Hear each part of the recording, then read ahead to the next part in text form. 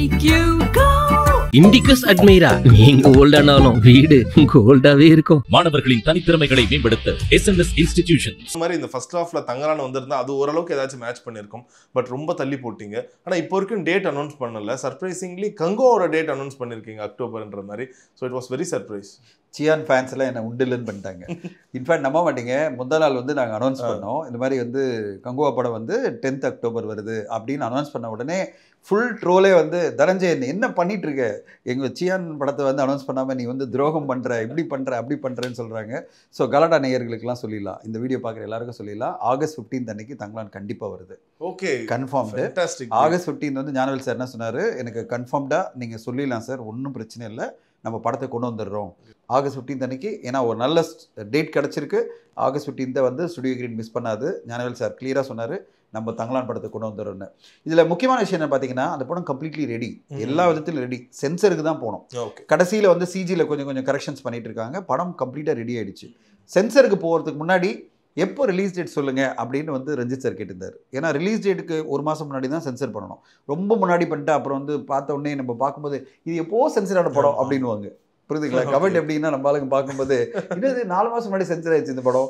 ஏன் வரல? அப்படின்லாம் கேள்வி வரும். அதனால அந்த மாதிரிலாம் இப்போ பெரிய படங்கள்லாம் சென்சர் பார்த்தீங்கன்னா ஒரு மாதம் முன்னாடி தான் பண்ணுவாங்க. இப்போ இப்போ சென்சருக்கு இப்போ தான் இன்னைக்கு காலிலேருந்து டிஸ்கஷன் போயிட்டே இருக்கு. இந்த மாதம் சென்சர் பண்ணிடலாம். அதாவது ஜூலையில் சென்சர் பண்ணிடலாம். ஆகஸ்ட் 15 படத்தை கொண்டு வந்துடலாம் சொல்லிட்டு கன்ஃபார்ம்டாக ஞானவேல் சார் சொல்லிட்டு ஸோ அதே போல் இப்போ ஒரு பக்கம் ரொம்ப நல்லா நீங்கள் சொல்லியிருக்கீங்க கங்கோவோட ரிலீஸ் அதே போல் சூர்யா சார் ஃபேன்ஸும் உங்களை நிறைய கேள்வி கேட்டிருப்பாங்கல்ல. சார் இப்போ அஜித் விஜய் அண்ட் சூர்யா அடுத்த கட்டத்தில் இருக்கும்போது இவரோட படம் ரிலீஸ் ஆகிறதுக்கான அந்த தேதிகள் பயங்கரமாக டிலே ஆகுது. அண்ட் இதுக்கப்புறம் வர வர படங்கள் புறநாடுன்னு படம் அனௌன்ஸ் பண்ணாங்க. என்னாச்சுன்னு தெரியல. வாடிவாசல் என்னாச்சுன்னு தெரியல. இப்போ அதுக்குள்ளே கார்த்திக் சுப்ராஜ் சார் படம் பண்ணுறாரு ஸோ இந்த ஒரு ஃப்ளக்சுவேஷனுக்கு காரணம் என்ன? அப்படி சொல்ல முடியாது. ஒரு ஒரு படமும் வந்து ஏதோ ஒரு ரீசனால தடைப்படுத்த தவிர சூர்யா சார்னால எந்த விதமே கிடையாது. இப்போ கங்குவா படத்தை பொறுத்தவரை நீங்கள் வந்து ஈஸியாக சொல்ல முடியாது. அவ்வளோ பெரிய மேக்கிங் வந்த பிறகு இந்த படத்தை வந்து ஒரு இந்தியன் சினிமாவை பார்த்து வைக்கிற மாதிரி இப்போ கல்கி படத்தை பற்றி நம்ம பேசிட்டு இருக்கோம். எவ்வளோ பெரிய ஒரு மேக்கிங் இருக்குது அவங்களே ரிலீஸ் டேட்டை மாற்றி வைக்கிறாங்கல்ல. இப்போ நீங்கள் இது எடுத்துங்க புஷ்பா டூ என்னாச்சு? அவங்க வந்து ஆகஸ்ட் 15 சொல்லிட்டு டபால் டிசம்பர் தூக்கி போடுறாங்கல்ல. இது வந்து பெரிய படங்களுக்கே இருக்கிற ஒரு சிக்கல் அது.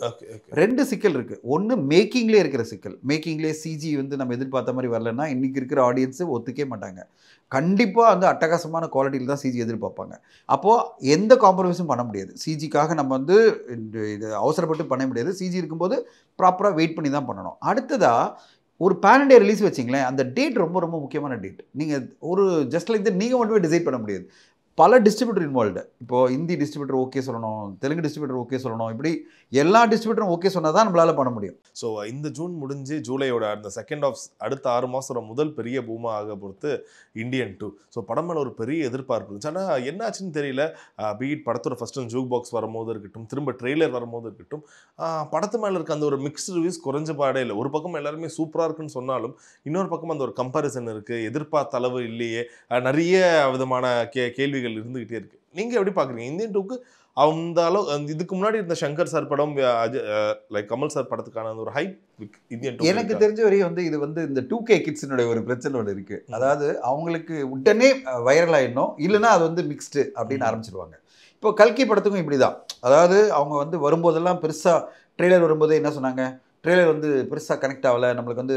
பெரிய இம்பாக்டை கிரியேட் பண்ணல அப்படின்லாம் சொல்லியிருந்தாங்க இதுக்காக கல்கி உதாரணமாக சொல்றேன்னா அந்த படத்தினுடைய ட்ரெய்லர் வந்து இவ்வளோ பெருசாக வைரல் எல்லாம் ஆகல பாடல்களும் பெருசாக ஆமா. பத்திக்கல ஆனால் இன்னைக்கு முதல் நாளே அவங்களே டிக்ளேர் பண்ணியிருக்காங்க நூற்றி தொண்ணூற்றி ஒன்று point five gross first day collect பண்ணியிருக்கு அப்படின்னு செகண்ட் டேவும் மினிமமாக நூறு கோடி கலெக்ட் பண்ணியிருக்கோம். அவ்வளோ பெரிய வரவேற்பு இருக்குது இந்த படத்துக்கு. அதாவது இவ்வளோ ஒரு மேக்கிங் இவ்வளோ பிரம்மாண்டமான மேக்கிங் இந்த ஒரு கதை எப்படி இவ்வளோ ஆர்டிஸ்ட் ஒரு காம்பினேஷனோட ஒரு பிரமாதமான படைப்பை வந்து நாகர்ஷன் கொடுக்க முடிஞ்சது அப்படின்ற ஒரு கொஷின் மார்க் வருது இல்லை? அந்த ஒரு சக்ஸஸ் தானே. இவ்வளோ கொஷின் மார்க் வந்தது காரணமே இந்த படத்துக்கு கிடைச்சிருக்க அந்த ஒரு வரவேற்பு. நூற்றி தொண்ணூத்தொரு கோடியா அப்படின்ற மாதிரி ஒரு பெரிய ஒரு சர்ப்ரைஸ் அந்த நூத்தி தொண்ணூறு கோடி காரணம் யார்? பிரபாஸ் மட்டும்தானா? இல்ல. இல்ல அது வந்து கம்ப்ளீட்டா காம்பினேஷன் இப்போ Right. நீங்க பாத்தீங்கன்னா ஹிந்தில இருபத்தி இருபத்தஞ்சு கோடி ரூபாய் கலெக்ட் பண்ணுது தமிழ்ல ஒரு ஐந்து கோடி கலெக்ட் பண்ணுது கேரளால கலெக்ட். பண்ணுது அப்படின்னு எல்லா ஊர்லயும் எடுத்தீங்கன்னா பிரபாஸ்ன்றது ஒரு பர்டிகுலர் ஒரு தெலுங்கு ஆடியன்ஸ்க்கு இருந்தாலும் ஓவராலாக ஆல் இண்டியா லெவலில் வேர்ல்டு வைட் நீங்கள் எடுத்துக்கிட்டிங்கன்னா ஓவர்சீஸில் கிட்டத்தட்ட யூஎஸ்ல மட்டுமே ஐந்து மில்லியன் டாலர் கிட்ட பண்ணியிருக்கு. ஐந்து மில்லியனா நாற்பது கோடி. ஒரே நாள் நாற்பது கோடி. பெரிய விஷயம். அடிச்சு துவம்சம் பண்ணுது இந்த படத்தோடைய கலெக்ஷனு அவ்வளோ டிக்கெட்டே கிடையாது. இருபத்தஞ்சு டாலர் டிக்கெட் போயிட்டு இருக்கு ஐந்து மில்லியன் டாலர் வந்து நார்த் அமெரிக்காவில் யூஎஸ்ல மட்டும் பண்ணுது இந்த படம். அப்போ எந்த அளவு ஆடியன்ஸ் எதிர்பார்க்குறாங்க பாருங்க. அது பிரபாஸ்ன்றது இல்லை. ஒரு அமிதாப் பச்சன் இருக்காரு ஒரு தீபிகா படுகோன் இருக்காங்க ஒரு கமல் சார் இருக்காரு அப்படின்னு ஒரு பெரிய காம்பினேஷன் இந்த காம்பினேஷன் வரும்போது ஆடியன்ஸ் கண்டிப்பாக வந்துடுவாங்க இப்போ இதே தான் இந்தியன் டூக்கும் நடக்கும். கல்கி வந்து நேசையர்ஸ் நிறைய பேர் இருந்தாங்க.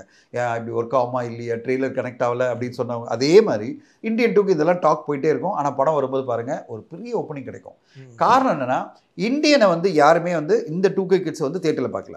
எல்லாருமே ஓடிடியில் பார்த்துருப்பாங்க இல்லைனா வந்து சேட்டலைட்டில் பார்த்துருப்பாங்க. இப்போ அவங்க பார்க்க போகிறது இந்தியன் டூ அப்படின்ற ஒரு பிரம்மாண்டமான படைப்பு. கமல் சாரை அந்த மாதிரி இந்தியன் தாத்தாவா அவங்க பார்க்க போகிறாங்க கண்டிப்பாக ஒரு பெரிய ரெஸ்பான்ஸ் இருக்குன்னு தான் எதிர்பார்க்குறேன். இது எல்லாமே படம் வெளிவரத்துக்கு முன்னாடி தான் இருக்கும். படம் வெளிவந்த பிறகு நல்லா இருக்குன்னு வச்சுங்களேன் டப்புன்னு எல்லாத்தையும் எல்லா டாக்கையும் வந்து கில் பண்ணிட்டு அடுத்த கட்டம் படம் போயிடும். அந்த நம்பிக்கை எனக்கு இருக்குது ஏன்னா சங்கர் சார் ஒரு சோஷியலி ரெஸ்பான்சிபிள் தீமை கொடுக்குற ஒரு டைரக்டர். அது பிறகு கமர்ஷியல் படங்கள் அப்படின்னாலே அது சங்கர் சார் தான். இன்னைக்கு வரையும் பார்த்தீங்கன்னா முப்பது வருஷம் கடந்த பிறகும் ஒரு கமர்ஷியல் ஃபிலிமை சூப்பு டுப்பராக கொடுக்க முடியும்னா அது சங்கர் சார் நம்பர் ஒன்ல இருக்குது கண்டிப்பா. அவர் வந்து டிசப்பாயின்ட் பண்ண மாட்டார்.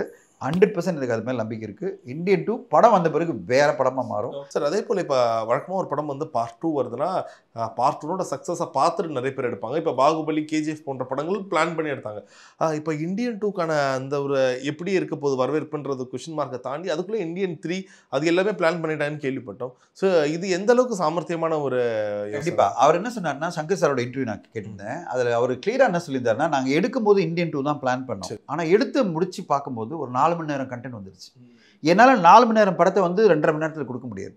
அப்போது நான் வந்து பார்ட் த்ரீயை ஒன்று பண்ணலாம். ஏன்னா இந்த கான்செப்ட் அவ்வளோ பெருசு. நான் எடுத்துக்கொண்ட ஒரு தீம் வந்து அவ்வளோ பெருசாக இருக்குது அதனால தான் நான் வந்து இந்தியன் த்ரீ பண்ணிடலாம்னு சொல்லிட்டு கமல் சார்கிட்ட கேட்டேன். கமல் சாரும் ஓகே சொல்லிட்டாரு. அதனால தான் இந்தியன் த்ரீயும் உருவாகிட்டு இருக்கு. ஆல்மோஸ்ட் இந்தியன் த்ரீனுடைய எயிட்டி பர்சன்ட் முடிச்சிட்டாங்க. இன்னும் ஒரு கொஞ்ச நாள் தான் அதோட படம் முடிஞ்சிடும் ஸோ இப்போ இந்தியன் டூ மிகப்பெரிய லெவலில் சக்ஸஸ் அடிச்சு வச்சிங்களேன். இந்தியன் த்ரீக்கு இதை விட பெருசாக ரெஸ்பான்ஸ் இருக்கும். ஸோ அப்படிப்பட்ட ஒரு தீமை தான் அவர் எடுத்திருக்காரு. இந்த இந்தியன் டூவில் முன்னாடி இருந்த தீம் மட்டும் இல்லாமல் இன்னைக்கு கான்டெம்பரரியாக இப்போ நான் சொன்னல ஜிஎஸ்டி. கமிஷன் பண்ணுறது இப்படி பண்ணுறது அப்படி பண்ண சொன்னல இந்த லஞ்சம் என்பது ஆம்னி பிரசண்ட்டாக இருக்கிற ஒரு விஷயத்தை எடுத்துட்டு அதை மட்டுமே ஃபோக்கஸ் பண்ணாமல் ஒரு இந்தியன் தாத்தா என்னென்ன விஷயங்களை பண்ண முடியும். இந்த உலகத்தில் என்னென்ன மாற்றங்களை கொண்டு வரதுக்கு ஒரு கேட்டலிஸ்ட்டாக இருக்க முடியுன்றது தான் இந்தியன் டூவில் அவர் வந்து கொண்டு வந்திருக்காரு. அதனால் எனக்கு மிகப்பெரிய நம்பிக்கை. ஏன்னா நான் என்றைக்குமே சங்கர் சாருடைய மேக்கிங்கை பார்த்து பிரமிச்சிருக்கேன். அவருக்கு அந்த ஃபியூச்சரிஸ்டிக்கான ஒரு விஷன் இருக்குது அதாவது அட்வான்ஸ்டாக பத்து வருஷம் கழிச்சு நம்ம ஆடியன்ஸ் என்ன பார்க்கணும் எதிர்பார்க்குறாங்களோ அது முன்னாடியே கொடுத்த ஒரு மனிதர். இன்னைக்கு வரையும் அவருடைய படங்களை போய் பாருங்க. அவர். கொடுத்த சிஜி எல்லாம் இன்னைக்கு வந்துட்டு இருக்கு. ஆமா. அவர் அன்னைக்கே சிஜி பண்ணிட்டாரு. நீங்க பாத்தீங்கன்னா ஒரு டபுள் ஆக்ஷனுக்கு பத்தி பேசிட்டு இருக்கோம். டபுள் ஆக்ஷனுக்கு இன்னைக்கு போய் லாஸ் ஏஞ்சல்ஸ் போயிட்டு நம்ம வந்து ஏஏ மூலமா பல பல விஷயங்களை பண்ணி டி க்ளோனிங் டி ஏஜிங் இதெல்லாம் பண்ணிட்டு இருக்கோம்ல. அன்னைக்கே வந்து ஜீன்ஸ் படத்துல ரெண்டு பேரும் கட்டி பிடிச்சிட்டு ஒண்ணா ம். பண்றதை காமிச்சிட்டாரு. பிரசாந்தை வச்சுக்கிட்டு. எப்போ? 98 நைன்டி எயிட்டில் நினச்சி பாருங்க. இருபத்தி ஆறு வருஷம் முன்னாடியே அவர் பண்ணிட்டாரு. அப்போது அந்தளவு அட்வான்ஸ்டான ஒரு ஃபிலிம் மேக்கர் தான் வந்து சங்கர் சார் எனக்கு பெரிய நம்பிக்கை அந்த ஃபிலிம் மேக்கர் மேலே தான் அவர் வந்து டிசப்பாயிண்டே பண்ண மாட்டார். இண்டியன் டூ வந்து ஒரு வாவ் அப்படி தான் படமாக இருக்கும் தான் நான் எதிர்பார்க்குறேன். Okay right sir so uh, இன்னொரு முக்கியமான கேள்வி இப்போ விஜய் சாரோட நடவடிக்கைகள் வந்து இன்னும் பயங்கரமாக பேசப்படுறது ஒரு பக்கம் வந்து சினிமாவாக இருக்கட்டும் இன்னொரு பக்கம் நேற்று ரொம்ப சுர அரசியல் இதுவாக இருக்கட்டும். ஆனால் என்ன ஒன்று இப்போ கோட் படத்துக்கு மேலே இருக்க அந்த எதிர்பார்ப்பு இதுக்கு முன்னாடி லியோக்கு வந்து இந்த எதிர்பார்ப்பு வந்து இந்த விண்ணை முட்டும் அளவுக்கு எதிர்பார்ப்புன்னு சொல்லுவாங்கள்ல படம் பார்த்தீங்கன்னா கிட்டத்தட்ட லாஸ்ட்டில் அக்டோபர் டைமில் ரிலீஸ் ஆச்சு. ஆனால் ஜனவரிலேருந்தே லியோ பற்றி போன வருஷம் ஃபுல்லாக பேசிகிட்டு இருந்தோம். ஆனால் இப்போ கோட்டுக்கு அந்த அளவுக்கான அந்த ஒரு எதிர்பார்ப்பு. மேபி லியோ கம்பேர் பண்ணும்போது கொஞ்சம் கம்மியாக இருக்கும். ஏன்னா இப்போ ஒவ்வொரு பாடல்கள் வரும்போதும் படம் ரிலீஸ் வரைக்கும் அந்த பாடல்கள் பட்டி தொட்டி எங்கும் அதுதான் கேட்டுட்டு இருக்கும். ஆனால் இந்த வாடி பாடல்கள் இதுக்கு முன்னாடி வந்த லியோ இல்லை ஒரு பீஸ்டோ அந்த அளவுக்கு ஹிட் ஆகலையோன்ற ஒரு கேள்வி சமூக வலைதளங்களில் பரபரப்பாக பேசிட்டு வருது. நீங்கள் எப்படி பார்க்குறீங்க ரெண்டு இது பார்க்குறேன் ஒன்று வந்து பியூராக நீங்கள் சாங்கே வேலிட் பண்ணிங்கன்னா இதுவரையும் அவர் வந்து அந்த ஒரு சாங் மட்டும் தான் டான்ஸ் நம்பர் அவங்க போட்டது. ஒரு டான்ஸ் நம்பர் வெளியிட்டாங்க அந்த டான்ஸ் நம்பர் ஏதோ ஒரு வகையில் எல்லோருக்குமே பிடித்த மாதிரி அமையல. அது ஒரு பிரச்சனை அடுத்ததான் அவங்க வெளியிட்டது ஒரு எமோஷனான ட்ரிபியூட் சாங் பவதாரணிக்கு ஒரு. ட்ரிபியூட் சாங் மாதிரி ஒன்று வெளியிட்டாங்க இப்போ இது வந்து ஒரு கமர்ஷியல் படத்துக்கே தேவைப்படுற அந்த சாங் வந்து எப்படி வந்து ஒரு வாரிசு படத்தில் வந்ததோ. எப்படி ஒரு பீஸ் படத்தில் அபிபோ சாங் வந்து அவ்வளோ பெருசாக வைரல் ஆயிடுச்சு அதே மாதிரி வந்து லியோவில் மிக பெருசாக வைரலான மாதிரி இந்த பாடல்கள் வைரல் ஆனதுக்கு ஒரு காரணம் எனக்கு என்ன தோணுதுன்னா அந்த படங்கள் வரையும் லியோ படங்கள் வரையும் அவர் ஒரு அரசியல் தலைவரை யாரும் பார்க்கல. ஓகேங்களா? அவர் வந்து ஒரு நியூட்ரலாக எல்லாருக்குமே பிடிச்ச ஒரு தலைவராக இருந்தார். எல்லாருக்கும் பிடிச்ச நடிகரா தலைவர்ன்றதை விட நடிகராக இருந்தார். எல்லா ஒரு செக்மெண்ட் ஆஃப் ஆடியன்ஸ்க்கும் வந்து அவர் ரொம்ப பிடிக்கும். இப்போ ஒரு ஆர்ட் கோர் ஒரு ஆப்போசிஷன் வந்திருக்கு அவருக்கு. அவர் வந்து இப்போ டிஎம்கேக்கு ஆதரவா இல்லை. ஏன்னா டிஎம்கேக்கு அப்ரிஷியேட்டே பண்ணல. நாற்பது நாற்பது வின் பண்ணியிருக்காங்க. பட் அவங்கள வந்து அவர் அப்ரிஷியேட் பண்ணலன்னா டிஎம்கேக்கும் அவர் விஷ் பண்ணல. பாத்தீங்களா நீங்க? ஆமா, டிஎம்கே. தலைவர்கள் யாருமே அவருக்கு வந்து பர்த்டேக்கு விஷ் பண்ணல. மீதி பேர்லாம் விஷ் பண்றாங்க. இப்போ ஆட்டோமேட்டிக்காக நீங்கள் பார்த்தீங்கன்னா அரசியல் என்பது எப்பவுமே உங்களை வந்து ஒரு டிவிஷனை கொண்டு வந்துடும். இப்போ பாருங்க அவங்க ஒரு தேர்ட்டி பர்சன்ட் பாப்புலேஷன் வந்து அவருக்கு ஒரு ஹார்ட் கோர் ஓட்டர்ஸ் வச்சிங்களேன். அவங்க எல்லாமே அப்படியே டிஸ்டன்ஸ் பண்ண ஆரம்பிப்பாங்க. விஜய் சார்கிட்ட இருந்து. இப்போ நீங்கள் இது வந்து பிரதிபலிக்கும் எல்லாத்துலேயுமே. எப்பவுமே ஒரு அரசியல் என்பது என்னன்னா டக்குன்னு வந்து ஒரு பார்ட்டிக்கு எதிராக நீங்கள் போய் நிற்பீங்க அப்போ ஆட்டோமேட்டிக்காக என்ன ஆகிடும்னா அந்த பார்ட்டியில் இருக்கிற கேடர்ஸ் ஃபுல்லாகவே உங்கள் படத்தை அவாய்ட் பண்ணுவாங்க. உங்கள் படத்தை அவாய்ட் பண்ணுவாங்க. சோஷியல் மீடியாவில் அவாய்ட் பண்ணுவாங்க. இப்போ படத்துக்கு போகிறதுக்கு அவாய்ட் பண்ணுவாங்க. அப்போ நீங்கள் யாரை நம்பி இருப்பீங்கன்னா உங்களோட ஃபேன்ஸை மட்டும் நம்பி இருப்பீங்க. இது தவிர்க்கவே முடியாது. பல காலமாக இது நடந்துட்டு இருக்க விஷயம் தான். யார் வந்து அரசியலில் ரொம்ப தீவிரமாக இறங்குறாங்களோ அவங்களுக்கு டக்குன்னு பார்த்தீங்கன்னா ஒரு செக்மெண்ட் ஆஃப் ஆடியன்ஸ் வந்து கம்ப்ளீட்டாக விலகிடுவாங்க. விலகி போயிடுவாங்க. ஏன்னா அவங்களுக்கு வந்து இது எங்களுக்கு எங்கள் கட்சிக்கு எதிராக அவர் இருக்காரு. அதனால் வந்து அவருக்கு நாங்கள் சப்போர்ட் பண்ண முடியாது. உள்ளுக்குள்ளே நம்மளுக்கு பிடிச்சிருந்தாலும் அவர் வந்து சப்போர்ட் பண்ண முடியாது. ஓப்பனாக சப்போர்ட் பண்ண முடியாதுன்ற ஒரு பிளானில் வந்துடும் அப்போ என்ன ஆகிடுன்னா ஒரு எலினேட் ஆகிட்டே இருக்கும். ஒரு பர்டிகுலர் செக்மெண்ட் எலினேட் ஆகிட்டே இருக்கும். அதனால தான் இந்த வைரல் ஆகலைன்றதுக்கு ஒரு செக்மெண்ட் ஆஃப் ஆடியன்ஸும் இல்லை. அதை நீங்கள் புரிஞ்சுக்கணும். இந்த ஒரு ஆப்போசிஷன் கண்டிப்பாக இருக்கும்.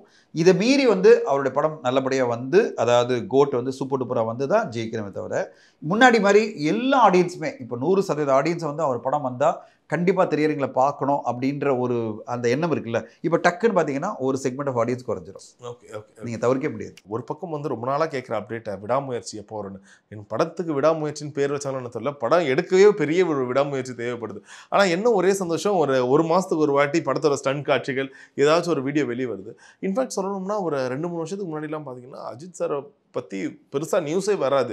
அவர் எங்கேயோ எப்பயோ போகிறது தெரியாமல் யாரோ ஃபோன் எடுத்தால் அப்படி வந்தால் உண்டு. ஆனால் இப்போ வந்து தொடர்ந்து அவருடைய அவரை பற்றின அப்டேட்ஸ் வந்துக்கிட்டே இருக்குது இப்போ திரும்ப அந்த ஒரு பழைய ட்ராக்ல கார் ரேஸ் ட்ராக் போயிருக்காரு. ஸோ அந்த மாதிரி அப்டேட்ஸ் வந்துக்கிட்டே இருக்குது ஸோ இது எதன் எதுக்கு இந்த இதுக்கான காரணம் என்னன்னு தெரிஞ்சுக்கலாமா? விடாமுயற்சி கண்டிப்பாக தீபாவளிக்கு வருது. ஓ டவுட்டே கிடையாது. ஓகே அவங்க ரொம்ப ஃபாஸ்ட்டாக போயிட்டு இருக்காங்க இந்த படத்தை தீபாவளிக்கு முப்பதாம் தேதி கொண்டு வந்தோன்ற டார்கெட்டில் அவங்க போயிட்டு இருக்காங்க ஒரு பக்கம் good bad ugly Pongal Pongal Pongal இப்போ ரெண்டு ஃபெஸ்டிவலுக்கு நம்ம வந்து அஜித் சார் படத்தை பார்க்க ஓகே அது கேரண்டி அவங்க வந்து நான் சுரேஷ் சந்திர சார் பேசும்போது அவர் கிளியராக சொன்னார். சுரேஷ் சார் என்ன சொன்னார்? சார் இந்த டைம் மட்டும் போகிறது இல்லை ரெண்டு ஃபெஸ்டிவலும் நம்ம வந்து படத்தை கொண்டு வரோம். அப்படின்னு சொல்லிட்டாரு. அதனால அதில் டவுட்டே வேணாம். So good bad ugly Pongal சொன்னோடனே இவங்க தீபாவளி வந்து தான் ஆகணும் இன்னும் லேட்டா போனா அது ரொம்ப நெருக்கமாயிடும். நெருக்கமாயிடும். இப்போ அக்டோபர் தேர்ட்டியத்னா நீங்கள் இருக்கிறதே அறுபது நாள் தான். நவம்பர் டிசம்பர் தான். இந்த படம் ஓடணும் இல்லை இப்போ அக்டோபர் தேர்ட்டியத் வந்து ஒரு மூணு நாலு வாரம் ஓடிச்சுன்னா அதுவே நவம்பர் போயிடும். அப்போ டிசம்பர் ஒரு மாதம் கேப் விட்டு ஜனவரி 15 படம் வந்தாகணும். ஜனவரி 14 வந்து குட் பேட் அக்லி வந்துடணும். ஸோ அப்போ அதுக்கான ஒரு ஒரு வேகத்தோட அஜித் சார் வந்து பயணிச்சிட்டு இருக்காரு. இப்போ ரெண்டாவது என்னன்னா அஜித் சார் அப்டேட் கொடுக்குறதே இல்லை. நீங்கள் சொன்னீங்களா ஆரம்பிக்கும் போது ரொம்ப சைலண்டாக இருக்காரு. எங்கே இருக்காருன்னே தெரியல. என்ன பண்ணுறாருன்னு. தெரியலன்னு வரும்போது அவங்க இப்போ அவங்களுடைய பிஆர் டீமில் ரொம்ப கிளியர் ஆயிட்டாங்க. இப்போ நம்ம ரெகுலர் அப்டேட் கொடுத்துட்டே இருப்போம். ஓகே ஓகே அஜித் சாருடைய எல்லா ஆக்டிவிட்டி பற்றியும் ரெகுலர் அப்டேட் கொடுப்போம். படத்தை பற்றி அப்டேட். கொடுப்போம். விடாமுயற்சியுடைய அந்த வீடியோஸ் எல்லாம் வந்தது காரணம் என்னன்னா விடாமுயற்சி வந்து ட்ராப்டு விடாமுயற்சி வந்து கம்ப்ளீட் ஆகாது. இப்போ வராது. அப்படின்ற பெரிய கொஷின் மார்க் இருந்தது இல்லை அது எல்லாருடைய வாயும் அடைக்கிறதுக்காக தான் அந்த மாதிரி வீடியோஸ் எல்லாம் விட ஆரம்பிச்சிட்டாங்க. இப்போ தொடர்ந்து வந்துட்டே இருக்கும் நீங்கள் பார்க்க போறீங்க. விடாமுயற்சி படத்தை பொறுத்த வரையும் அவங்க தொடர்ந்து அப்டேட் கொடுத்துட்டே இருப்பாங்க. ரிலீஸ் வரையும் ஒரு பில்டப் போயிட்டே இருக்கும் அந்த படத்துக்கு. காரணம் என்னன்னா அவங்களுக்கு ஆடியன்ஸை வந்து இனிமேல் எங்கேஜ் பண்ணி ஆகணும். கரெக்டாக எங்கேஜ் பண்ணி நம்ம வந்து அக்டோபரில் கொண்டு வந்தோன்ற பிளானில் தான் அவங்க இருக்காங்க. ஸோ அதனால் இப்போ இனிமே நீங்கள் அஜித் சாரை பார்க்க போகிறது பல விதமான அப்டேட் அது எல்லாரும் ஃபேன்ஸ் எல்லாம் செலிப்ரேட் பண்ணுற மாதிரி அப்டேட்ஸை தொடர்ந்து அந்த டீம் கொடுத்துட்டே இருக்க போது அஃபிஷியலாகவே கொடுப்பாங்க. ஓகே ட்விட்டர் ஹேண்டில் வந்துட்டே இருக்கும். இன்னைக்கு பார்த்தீங்கன்னா பேப்பரில் ஃப்ரண்ட் பேஜ்லேயே வந்து அனௌன்ஸ்மெண்ட்டே வந்து சுரேஷ் சந்திர சார் இன்டர்வியூ கொடுத்தது தான் ஆமா. போட்டிருக்காங்க. அவர் வந்து குட் பேட் அக்லியினுடைய அடுத்த மாதம் ஷூட்டிங் இருக்கு. அடுத்து இது பண்ணுறாங்க அவருடைய சோலோ ஷூட்டிங் எடுத்தாச்சு. சாங் ஒன்று எடுத்துட்டோம். அந்த சாங்கை முடிச்சாச்சு வித் கல்யாணம் எது- எதனால இவ்வளவு வேகம் சார் குட் பேட் அக்லிக்கான இனிமே நெக்ஸ்ட் நீங்க பார்க்க போறது ஒரு கம்ப்ளீட்லி வேற விதமான அஜித் சார் வந்து பப்ளிக்ல கண்டினியூஸா அப்டேட் கொடுத்துட்டு வர. அஜித் சார் டீம் தான் பார்க்க போறீங்க. ஓகே முன்னாடி ஒரு செக்யூர்டா இருந்தாங்கல்ல அது இருக்காது. இனிமே நான் ஸ்டாப் அப்டேட் இருக்கும். சார் இப்போ இதுக்கு முன்னாடி பார்க்கும்போது இது புதுசு இல்லை. ஏன்னா ரெண்டாயிரத்தி பதிமூணு பதினாலு போல் இதே போல் நடந்துச்சு. தீபாவளி அப்போ ஆர்மம் ரிலீஸ் ஆச்சு. அப்படியே அடுத்த பொங்கலுக்கு வீரமன் ஜில்லா ரிலீஸ் ஆச்சு. ஸோ ஆனால் அதுக்கப்புறம் அஜித் சார் படங்கள் பார்த்தீங்கன்னா அந்த ஒரு இடைவேளையே வித்தியாசமாக இருக்கும். ஒரு நேர்கொண்ட பாறை வருதுன்னா அதுக்கு முன்னாடி ஒரு ரெண்டு வருஷம் கேப் இருக்கும். ஆனால் தொடர்ந்து அடுத்தடுத்து ஒரு படங்கள் வரும். இப்போ இந்த குட் பேட் அக்லி வந்து இவ்வளோ அவசர அவசரமாக எடுக்கிறாங்களா? இல்லை இந்த ப்ராஜெக்ட் முன்னாடியே லாக் பண்ணதால அந்த அது ஒரே காரணமா? இல்ல பொங்கலுக்கு இல்ல date lock அவசர. அவசரமெல்லாம் எடுக்கல. அது வந்து பிளான் படி போயிட்டு இருக்கு அவங்க வந்து முதல்ல ஆறு மாசத்துல ஒரு படத்தை எடுத்துடலாம். இப்போ அதுல வந்து பார்த்தீங்கன்னா கிட்டத்தட்ட எண்பது நாட்கள் தொண்ணூறு நாட்கள் தான் அஜித் சார் டேட்டு ஓகே. மொத்தமாகவே ஒரு நூறு நாளில் அந்த படம் எடுக்கிற பிளானில் ஆறு மாதத்தில் ஈஸியாக எடுக்கலாம். அதை பத்தின அதோடைய ஒரே காரணம் என்ன அவங்க வந்து கிளியர் கட்டாக வந்து ஆதிக் ரவிச்சந்திரன் அதுக்கான பிளானிங் பண்ணிட்டார். ஓகே ஓகே ஃபுல்லாக என்னென்ன சிஜி பண்ணணும் என்னென்ன சாங்ஸ் முதல்ல சாங்ஸ் எல்லாம் கொடுத்துட்டாங்க டிஎஸ்பி கொடுத்துட்டாரு. இப்போ சாங்ஸ் எல்லாம் ரெடி ஆயிடுச்சு. டோட்டலாக எல்லாத்தையும் வச்சுக்கிட்டு அவங்க பாட்டு அடுத்தடுத்து போயிட்டே இருக்காங்க. இப்போ அஜித் சாரோட பொறுத்தவரை என்னென்னா ஒரு ரெண்டு வருஷம் கேப் வந்துடுச்சு. ரெண்டாயிரத்தி இருபத்தி ரெண்டு பிகினிங்கில் இப்போ எப்படி போகுது பாருங்கள் இருபத்தி மூணு பிகினிங்கில் ஒரு படம் வந்தது. இருபத்தி நாலு எண்டு வரையும் படம் இல்லை. அக்டோபர் தான் படம் வருது. அப்போது ரெண்டு வருஷம் ஆல்மோஸ்ட் இப்போ நீங்கள் நடிக்க நடிப்பாக பார்த்தீங்கன்னா ரெண்டாயிரத்தி இருபத்தில் நடித்த படம். இது துணிவு. ரெண்டாயிரத்தி இருபத்தி மூணில் ஒன்றுமே இல்லைல்ல. நடிச்சிருந்தாலும் படம் வரல. அப்போ அவருக்கு ஒரு கேப் வந்தது வந்து அவருக்கே டிஸ்டர்பன்ஸாக இருக்குது ஏன்னா ஆடியன்ஸை எவ்ரி இயர் எங்கேஜ் பண்ணணும் அப்படின்னு பிளான் பண்ணியிருந்தார். இப்போ இந்த கேப் இனிமேல் இருக்கக்கூடாது அப்படின்றதுக்காக தான் நான் ஸ்டாப்பாக அவருடைய படங்கள் வந்துட்டு இருக்கு அது சினிமாக்கு நல்லது தானே? அதுவும். பர்டிகுலராக எது எந்த ரீசனாக நல்லது நான் சொல்கிறேன்னா விஜய் சார் ஒரு பிரேக் எடுக்க போகிறாரு அப்போ நம்மளுக்கு தமிழ் சினிமாக்கு என்ன தேவைப்படுதுன்னா ஒரு பவர்ஃபுல்லான ஓப்பனிங் கொண்டு வரக்கூடிய ஒரு நடிகருடைய படங்கள் தொடர்ந்து வந்துட்டே இருக்கு ம், ம். இப்போ ஒரு சைடில் ரஜினி சார் தொடர்ந்து அவர் படங்களை அனௌன்ஸ் பண்ணிட்டு தான் இருக்காரு. அது பத்தாது. நம்மளுக்கு அஜித் சாரும் விஜய் சாரும் தொடர்ந்து படங்கள் கொடுத்துட்டே இருக்கணும் எதிர்பார்க்குறோம். ஆனால் அதில் விஜய் சார் வந்து இப்போ ஒரு பிரேக் எடுக்கும்போது அந்த கேப்பை கரெக்டாக வந்து இப்போ அஜித் சார் வந்து அவருடைய படங்கள் தொடர்ந்து வந்தது வச்சுங்க. மினிமம் ரெண்டு படம் வந்ததுன்னா இந்த கேப் இருக்காது. ஓகே அதாவது பாக்ஸ் ஆஃபீஸில் வருதுன்னு பார்த்தீங்கன்னா ரெண்டு படம் ஒரு வருஷத்துக்கு வந்தது வச்சுங்க. டெஃபினட்டாக நம்மளுக்கு பாக்ஸ் ஆஃபீஸில் ரெண்டு படங்களும் பெரிய ஓப்பனிங் கொண்டு வரும். அவர் வந்து ஒரு பொங்கலுக்கு ஒரு படம் தீபாவளி ஒரு படம் கொடுக்கலாம். யார்? நான் சொல்கிறது அஜித் சார். இப்போ இதே மாதிரி எதிர்பார்க்குறேன். இப்போ பொங்கலுக்கு வந்து குட் பேட் அக்லின்னா தீபாவளிக்கு இன்னொரு படம் பார்க்கலாம். ஓகே ஓகே அஜித் சார் படம். நெக்ஸ்ட் இயர் அதுக்கான பிளானிங் தான் இருக்காங்க. அடுத்த படம் உடனே ஆரம்பிக்க போறாங்க. இந்த படம் முடிஞ்ச உடனே டிசம்பர் முடிஞ்ச. உடனே அவர் அடுத்த படத்தோட ஷூட்டிங் போறாரு. என்ன படம் அதுக்கான விஷயம் எல்லாம் போயிட்டு இருக்கு. டைரக்டர். காம்பினேஷன் எல்லாமே ஃபைனலைஸ் பண்ணிட்டு இருக்காங்க. அனௌன்ஸ்மெண்ட் வரும் பாருங்க. ஸோ அந்த படம் வந்து ஜனவரியில் ஆரம்பிச்சு அதை தீபாவளி கொண்டு வரணும். அப்படி பிளான்ல இருக்காங்க. அப்போ நெக்ஸ்ட் இயர் நம்ம அஜித் சார் ரெண்டு படத்துல பார்க்க போறோம். அது பிறகு எவ்ரி இயர் வந்து ரெண்டு படம் வரணும் அப்படின்ற பிளான்ல அவங்க கிளியர் ஆயிட்டாங்க. ஏன்னா ஒரு பெரிய மார்க்கெட் ஆப்பர்ச்சுனிட்டி இருக்கு. இந்த ஓப்பனிங் கொண்டு வர முடியும். ஓடிடி பிளாட்ஃபார்மும் சரி சேட்டலைட் சேனலும் அஜித் சார் படம்னா வாங்குறது ரெடியாக இருக்காங்க. விஜய் சார் படத்தை எப்படி வாங்க ரெடியாக இருக்காங்களோ அதே மாதிரி அஜித் சார் படம்னா அவங்க வாங்க ரெடியாக இருக்காங்க. அப்போ அவருக்கான ஒரு பிஸ்னஸ் வந்து கேரண்டியாக இருக்குது அதையே மிஸ் பண்ணணும். அப்போ தொடர்ந்து படங்கள் பண்ணுறது அவருடைய டிசிஷன் ஆயிடுச்சு. அது வந்து தமிழ் சினிமாக்கே நல்லது. நிறைய படங்கள் அப்படி பண்ணணும் தான் எதிர்பார்க்குறோம். எப்படி ரஜினி சாரும் கமல் சாருமே இப்போ லைனப் நாலு படம் வச்சிருக்காங்க. அதே மாதிரி அஜித் சாரும் ஒரு நாலு படம் அனௌன்ஸ் பண்ணால் நல்லா இருக்கும். கண்டிப்பா, தமிழ் சினிமாக்கும் அப்பா இவ்வளோ படங்கள் வரப்போதா? அப்போ பிரச்சனையே கிடையாது. அப்போ வா மா வருஷத்து எவ்ரி இயர் பாக்ஸ் ஆஃபீஸை பொறுத்தவரையும் பயம் இல்லாமல் இருக்கு சார் இன்ஃபேக்ட் இப்போ ஒரு நேத்து போல குட் பேட் அக்லியோட இன்னொரு போஸ்டர் ஒன்று ரிலீஸ் பண்ணிருந்தாங்க பார்த்தேன். காட் பிளஸ் யூ மாமே காட் பிளஸ் மாமே அப்ப அந்த போஸ்டர் பார்த்துட்டு நிறைய ஒரு பக்கம் வந்து அஜித் சார் ஃபேன்ஸ் ரொம்ப சந்தோஷமா இன்னொரு பக்கம் வந்து இது என்னப்பா ஃபேன் எடிட் மாதிரி இருக்கே வித்தியாசமா இருக்கு. ஆளு தலை ஒரு சைஸ்ல இருக்கு உடம்பு ஒரு சைஸ்ல இருக்கு. ஆத்விக் என்ன பண்ணி வச்சிருக்கீங்க? எதுவும் பண்றாதீங்க. ஒரு மாதிரி பயம் கலந்த ஒரு ஒரு சந்தோஷத்தோட தான் அவரை பார்க்க முடியுது. ஸோ வாட்ஸ் ஆத்விக் குக்கிங் இல்ல எனக்கு தெரிஞ்ச வரை நீங்க அந்த அது வந்து ஒரு ஒரு ஃபேன் பாயினுடைய ஒரு படமா இருக்கும். எப்பவுமே ஒரு ஃபேன் பாய் ஒரு படத்தை எடுத்தாங்க வச்சுங்களேன். லோகேஷ் கனகராஜ் அவர்கள் வந்து கமல் சார் ஒரு ஃபேன் பாயா ஒரு படம் எடுக்கிறாரு. அட்டகாசமான விக்ரமா மாறுது. அதே மாதிரி ஒரு ஃபேன் பாயா விஜய் சாரோட ஒரு படம் எடுக்கிறாரு. அது இவ்வளோ பெரிய சூப்பர் டூப்பர் ஹிட் ஆகுது.